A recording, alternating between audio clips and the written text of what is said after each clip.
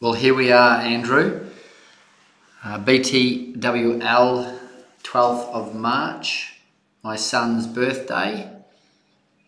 And I knew it was going to be tough. And I apologise for it being a little bit late. But hopefully, some of the sentiments get across and value to the summit that yourself and Mark Jeffrey, who is a global leader in technology innovation for tennis, and new ways of thinking around the delivery of tennis um, with uh, wonderful events like the Winning Summit and Between the White Lines. So, gents, thank you for inviting me to today's presentation. Uh, my name's Courtney Smith. I am a side player in this sport in that I play it regularly in my personal life, but from a professional level, I'm an amateur. And what I mean by amateur is I've come back into the sport with the belief that there are some changes that have taken place that need to be looked at based on my experience on stepping out of the sport for a decade after playing all my life through to a high level um, whilst I was in full time employ at 30 to coming back in my 40s when I had kids that had come of age to be able to play this wonderful sport such that I could hand that um, that love that I have for the game down to them. Uh, coming back to the sport has been really interesting, to be frank. Um, I've noticed that there is a shift in the way in which the um, the parties engage. And when I say parties, I'm talking about, for the most part, the national governing bodies, uh, state governing bodies, uh, the coaches, and of course the clubs and their constituency, which is the player, the member, etc. So I stepped back into tennis, and my first experience uh, as I bring a bucket of balls onto the court to knock some balls around with my young boy is the coach telling me I can't do it. Um, not the greatest experience, and something that I, uh, I, I, vehemently think is incorrect. Um, this sport is a sport where, when you're a member of the club or you're keen to grow, there should be no boundary. I understand and, I, and I'm fully about protecting livelihood. Um, but what gets lost in the protection of livelihood is the opportunity. It's the concept um, that is thrown to me of the growth mindset versus the fixed mindset. And I think tennis is in a concept around fixed mindset um, and generally driven through a couple of reasons. One, we have a fixed mindset that we can just turn the switch back on to those halcyon days of the 80s. I don't believe that's the case although there are elements I think we need to turn back on.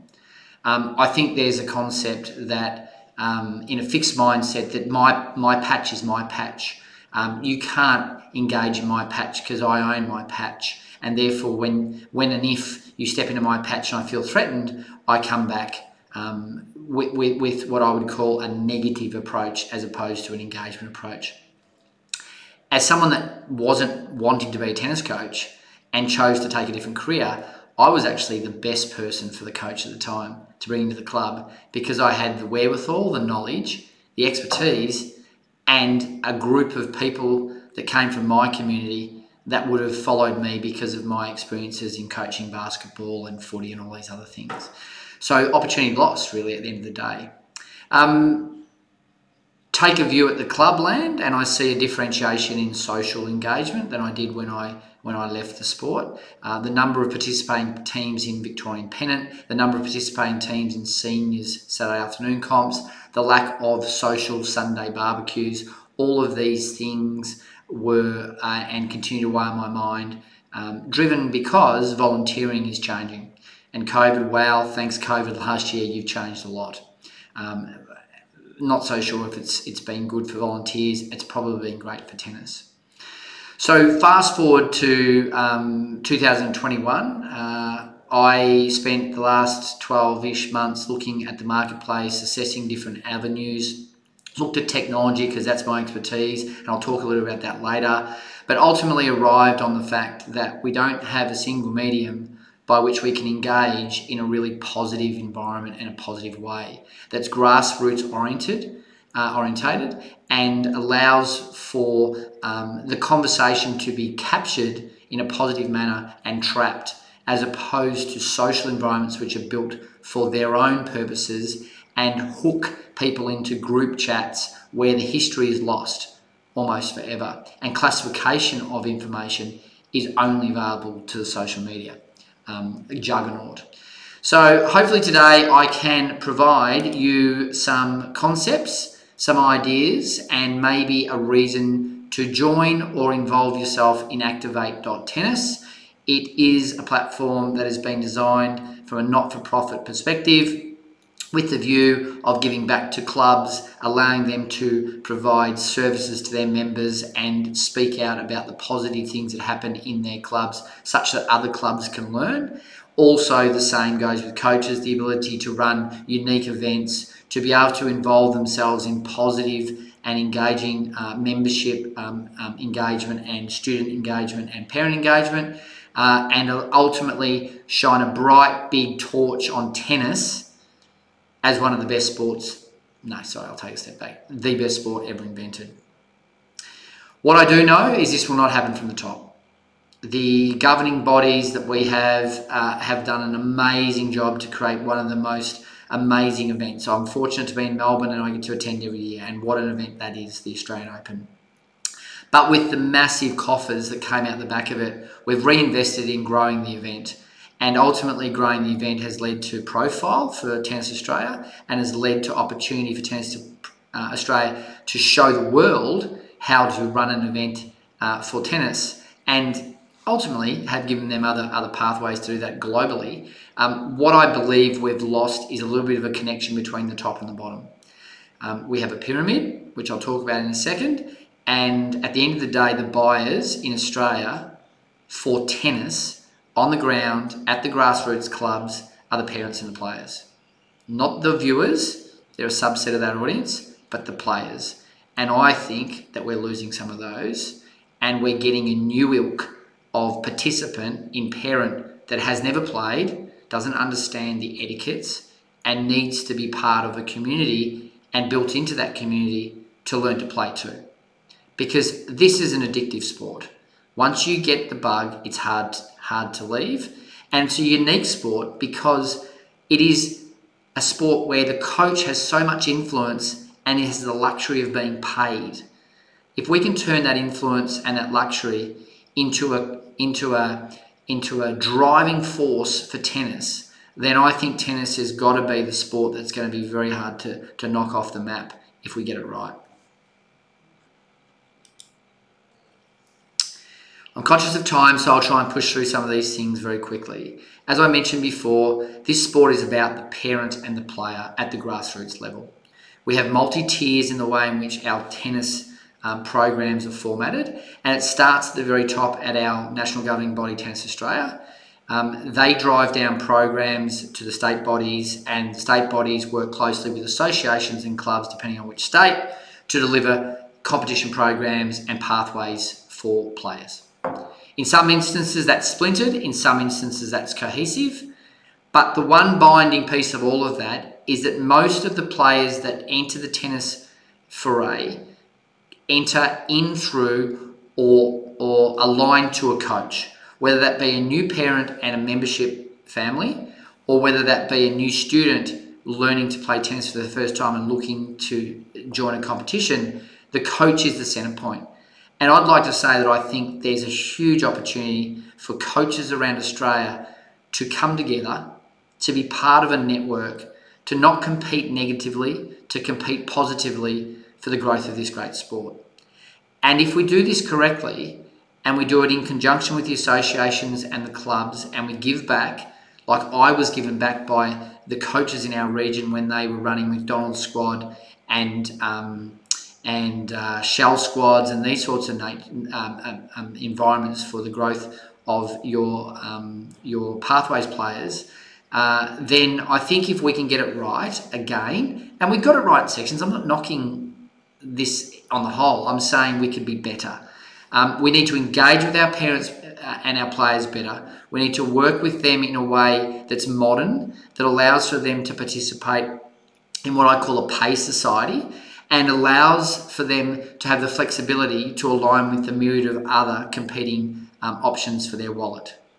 We have over 615 head coaches in Australia with probably an average of 200 pupils each That's 120,000 players in Australia with with a lot less playing competition from my statistical um, viewpoint.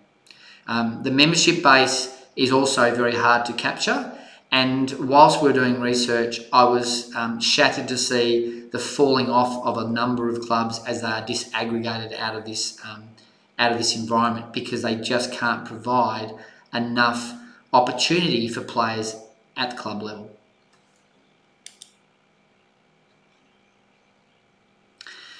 So my question to the audience is: Are we at a crossroads? Um, have we got a point in time where the problems are so so challenging that we can't come together to solve them?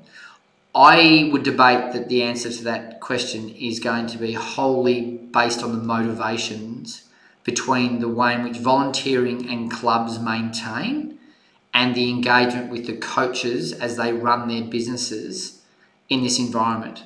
There's lots of talk out there um, around major changes taking place that have a, may, a significant um, impact on the way coaches can control their destiny.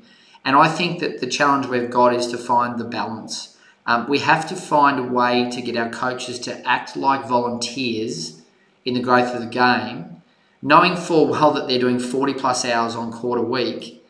And we need to do that in a way that gives them certainty. And the current environment is very uncertain.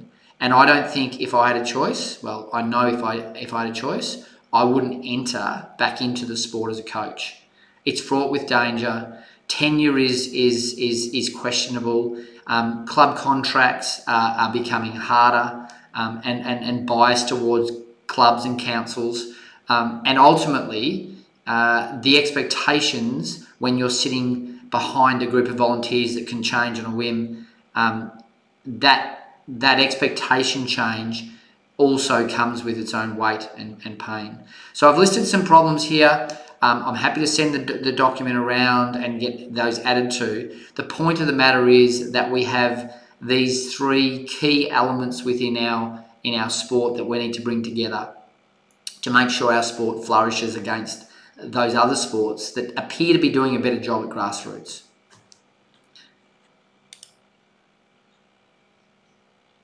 So yes, it's time to stop some negative chatter. Uh, I get caught up in the Facebook um, uh, groups, I must admit, and sometimes I chime in, and more often than not now I've chosen to, to listen and, and observe. Uh, there's a reason why there's negative chatter, because not everyone believes that tennis is performing to its potential. So from my perspective, I think it's time that we get positive and we do it as a, as a, as a unified approach. And so let's let's start on a positive. Activate Tennis seeks to become a trusted brand owned entirely by the grassroots community, clubs, coaches, and anyone that wants to help me on this on this journey to provide a framework for tennis activation and positive speech. We're there to serve our coaches, our clubs, and associations and players who ultimately want to see this great game thrive. I, I add a, a little bit of a spin on this and, and a bit of a gag, which is around the concept that change is inevitable. We have to be part of a change program. And, and the reasons why that the tennis manufacturers have made amazing inroads into this sport over the years is that they are constantly changing their offerings. And I think we need to be the same in tennis.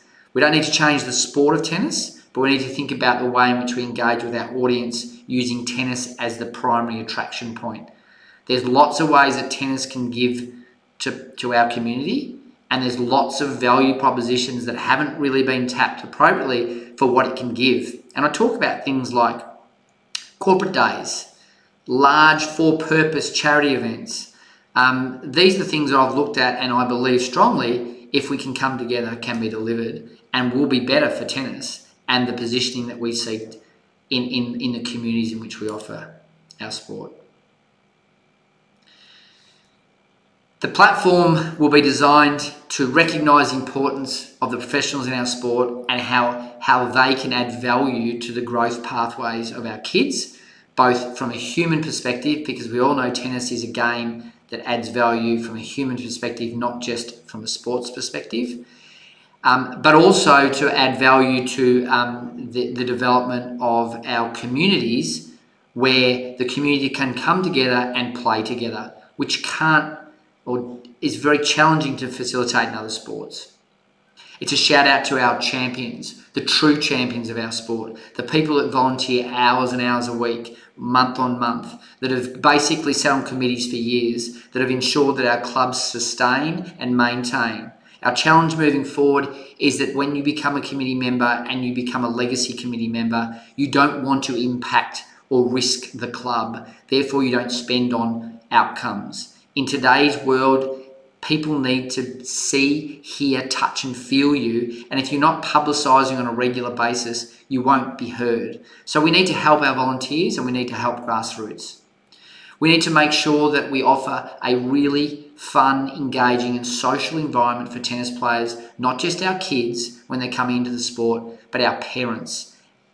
Because I'm worried that we're going to see a gap in parent play that is actually and ultimately impacting competition tennis. If you draw a, a sine wave graph, we're probably going to see that as we have this wonderful multicultural society and and and, and entrants that haven't played tennis before but love the idea of their kids playing the sport, we will see a resurgence in players that will become parents.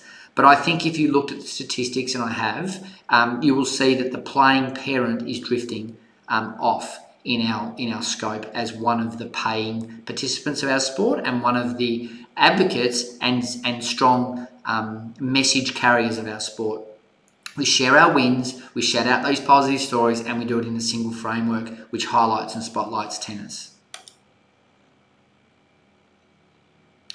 I like to think that with adversity comes opportunity. We've had COVID, we've seen a lock a lockdown of the the game completely. Yet when the doors opened and tennis was given its literal rite of passage because it is innately a safe sport in regards to contagions, um, it flourished and it boomed and people played. But I would be very interested to get the statistics, and they'll come through in the next six months to 12 months, of how many people that played in that period of time stayed after that period of time. We have our kids in the world of internet and mobile, gamification, um, driven to be looking at screens. We have parents that have, uh, are disengaged because at the end of the day, they've got so much on their plate. They're two income families. They're working hard. They've got um, an, an, amount of disposable income. They follow the Joneses down the street to basketball and footy. The team sports pull in kids from the grassroots because they're team oriented. And we have all of these factors impacting what tennis is as an opportunity against other sports and, and particularly where people apply their time. I think it's an opportunity, and I think if we do it as a collective and we tie and bind the, our community, which is club, coach, association, and player parent, in a really positive environment, then I can't see how this sport can't continue to grow and flourish.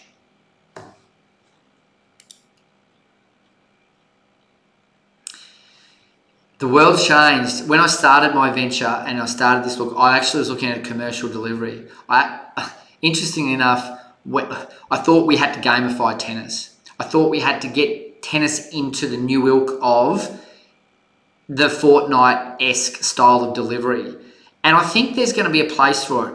And in the 12 months to 18 months that I've been in the technology sphere, evaluating, looking at, talking to, assessing, technologies for tennis, I have seen a change in the thinking of both the consumer user and the technology provider.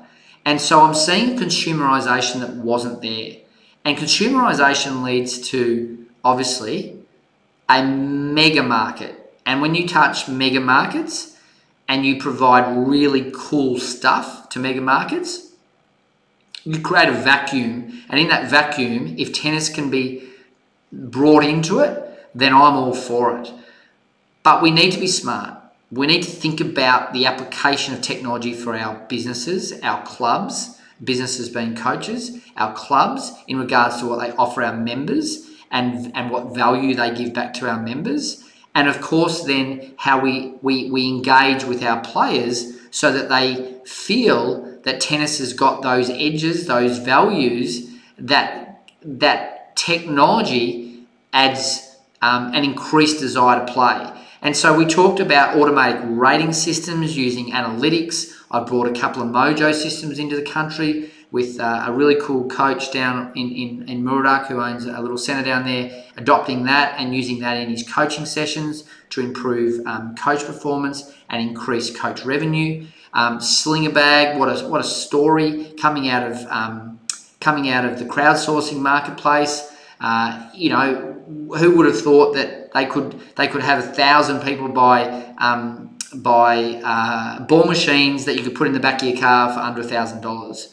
Um, it's changing the market. They've done amazing things. And congratulations to them. Companies like InOut out out of California, who have built uh, NetPost AI, Tennis AI out of South Australia, who do post uh, post edit assessment of games, um, positioning, forehand percentages, backhand percentages. We have tennis coach apps coming out that will in, in, improve the engagement between coach, player, and parent. Um, we have uh, all sorts of um, interactive, engaging ways in which to play ball sports, from multi ball, which is a wall based tennis, um, soccer, um, yeah, engagement layer that can be put in a squash court or put on a wall at a tennis club. And then we have things like um, a Decor, um, who Mr. Mr. Decor um, has built, where you can customize rackets online to find your own look, feel, um, balance points, um, and that's all done through the internet um, and delivered globally. I mean, this is an amazing time to be in the technology elements of sport, and it's an amazing time to be in tennis because tennis is a really cool gamification sport. It's individual, it can be pl- played as an individual, and, and you can play under gamification. So, opportunities to see VR um, we've seen um, a rating system that has exploded because it's allowed coaches to do unique things and players to assess themselves globally. Uh, and then we have, of course, VR, where uh, Gregory Gettinger, who also speaking, um, has provided a completely new way to train using virtual reality. It's exciting, and I think the community needs to get behind it and the coaches particularly need to start leveraging up their knowledge about where this sits and bringing that back to clubs. At the end of the day, if we have a vibrant and active coach and a vibrant and active club community, we create a crowd. And everyone knows that when you create a crowd, you get a crowd. So I'm a strong believer that if we get the right positive messages out there, we put the right programs in place between club and coach, and ultimately even in associations on the way in which they de- design their competition formats and their pathways programs for their kids around squads and all these sorts of things, I think that we can create crowds all over this great nation. So, how do we grow the crowd? Well, if you break it down, we have to grow it through our social play. We have to grow it at the grassroots levels. And we have to make it such that it's consumable, it's easy in the life that we lead, the busy lives that we lead, and that, it, that it's fun. But most of all, we need to find out how we get back to that point where you get to play and then you get to play. And what I mean by play is engage socially, both on court and off court, such that that positive endorphin release that you get from being part of a face to face community brings you back time and time again. It may not be competition, it may be just as we looked at, it might be something unique, it might be something like golf did with the Holden Scramble, a, a, a super cool um, national social event built on a handicap system. Um, using handicaps to provide a methodology to grade people fairly um, and, and, and then delivered through coaches and, and clubs in a feeder style program with prizes and, um, and profile and all those things that you get out of, out of things like Fortnite, Holden Scramble, which is now Volkswagen Scramble, They've done over 1.6 million people paying at least 120 to $250 a head. Do the math. We have corporate environments that need social wellness days, wellness for their employees with WorkSafe. Um, WorkSafe increasing their projections on mental health issues in the workplace. Tennis, I ran one at our local club. What a day. Our guys loved it. I had players that had never played, hadn't picked up a racket for 10 years, and they all came back and they all, all played. We created a handicap system, and out of that handicap system, we created a little tournament, and that tournament was run within two hours. We had winners, and it was as fair as you could have got. There was excitement, there was trepidation on who was going to be able to handle it or not, but everyone joined in and everyone had a ball. There's so many opportunities here, guys, that if we come together and we brainstorm this stuff, there's no reason why we can't get activation, both locally and state based, and even better, nationally and internationally. Our target should be a million players, but not a million people that picked up a racket, a million real tennis players. Playing regularly, volunteering, and assisting clubs, and just being part of that tennis community. So, who's going to lead? Is it the peak body? Is it the club? Well, based on statistics, based on experience, and based on what I've seen in the short time I've been back in the sport, I think it needs to be the coach. The coach is motivated by money, motivated by his community, has been a player and has loved the game, and therefore espouses with passion the reason why people should play the game. And the coach at the end of the day is the one that most people go to when they want to improve their, their tennis working closely with clubs in fair, fair relationships that make sense. There should be no reason why that cohesive structure can't be adopted nationally and that coaches actually can't create tenure. Doesn't mean people can be stale and just let, let, let the gravy train ride. That's not what I'm talking about here. I'm talking about having proper relationships in place that measure KPIs, key performance indicators, from both the club's perspective and the coach's perspective to ensure that the game is grown at the local level in the local region or area in which they operate. If we can do that, and if we can do that correctly from grassroots, then the game will grow by 10 to 15%, and everyone's patch will grow by the same because word of mouth in tennis is, is, is as good as any marketing you'll ever get. We need the coaches to grow up in terms of their business acumen. We need them to build their social media networks. We need them to, to build their abilities to deliver quality information flow back to parents and back to kids. And we need to use technology in a way that it can add value. The clubs are no different. The only problem there we've got is volunteers. And volunteers, by nature of, of what I know in the market currently, that's a diminishing um, a diminishing uh, return in that they're not coming in um, with any fervour. In fact, uh, I would say that, that we have a massive issue facing us in the next 10 years around how clubs will actually operate. So, it's time to embrace the truth that the real reason why the sport's not running is because we haven't driven it properly. And so I'm saying and advocating that coaches, yes, coaches, but with clubs, you both need to drive this thing forward. Humans like change. If a temperature changes, if the phone rings, it's exciting, it adds a conversation streak, and it gets your attention. Our tennis community needs the phone to ring. And I think that Activate.tennis provides a framework that can potentially deliver a positive value proposition to both coach and club to bind them in a positive way such that that the community sees that tennis is a quality sport run by quality people. Um, and, and I think if that's seen, then the sport will take care of the rest. Because once you enter this sport and you get a positive exchange, it's very hard to leave.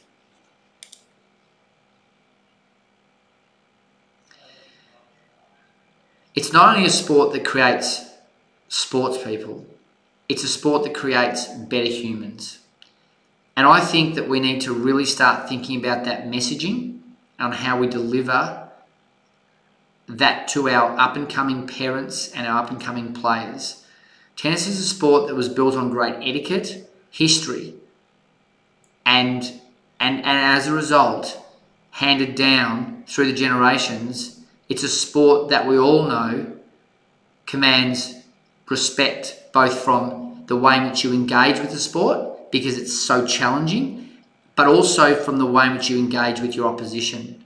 It's a gladiatorial sport and it teaches you a number of things in life about how to be better, about how to deal with adversity, how to do it by yourself, how to engage with people that, that want to take you off your seat or, or knock you off the knock you off the um, the top.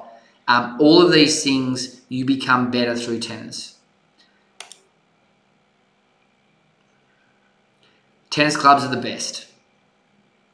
As a 12 year old boy playing in the local Sunday afternoon comp down at Flinders Tennis Club, little country club down in uh, on the Mornington Peninsula, Victoria. There was nothing better than being part of that community and having an opportunity to pretend that I could possibly be the best in the club. Now, I was lucky that I actually got to that point. But it was that stimulation I got as a kid playing with our community enjoying the sausage sizzle afterwards and the talk and the chit chat and the table tennis in the club rooms and all of those engagements that made me love this sport so much. And to be honest, so did little elements outside of the sport, like bat tennis at school. There's so much conversation going on around whether we should have multi multi direction in our in the way in which we engage tennis players. Should we allow for pickleball and should we allow for a padel and these other sports? Should we modify the game? Should we change the scoring? For the most part, I'd say no. But what I can say is that I have a little backyard court in my house and it's small. And when I engage with my mates on that court, they all become tennis players. They don't become backyard bat tennis players they all, for a moment in time, become tennis players. And that's how we stimulate tennis from different angles. And clubs, I think, need to change on that on that thinking and need to start to consider the other ways in which they can engage to bring tennis players to the, to the court. Coaches need to be major influencers. I've mentioned it before. I'm not going to harp on it again. They're absolutely pivotal. We're lucky we have professionals in this sport. If I will say this right now, if tennis didn't have coaches, I would say that tennis would be half the sport it is now. It's a big statement, but I think it's the truth. And so we're lucky because there's sports out there that don't have coaches to the capacity that tennis does, that have professionalized the pathways and the engagement at the start of the sport with individual players. That's a luxury. Go and talk to go and talk to footy and go and talk to these other areas who have to get all volunteers for every element within the program. It's tough and it's challenging. We're lucky. We need to develop programs that coaches can leverage and we need to work together in, in building out our, our, our sport, the sport of tennis.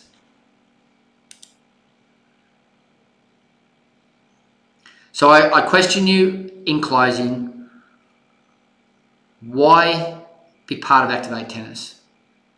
Well, my statement is this. Firstly, it's free. It'll cost you nothing. There's lots of things we're building, and we have a launch date coming on the 26th for beta release. Um, I'll allow, uh, announce that into the into the market shortly, and I will be looking at small test clubs and and coaching um, businesses that can provide.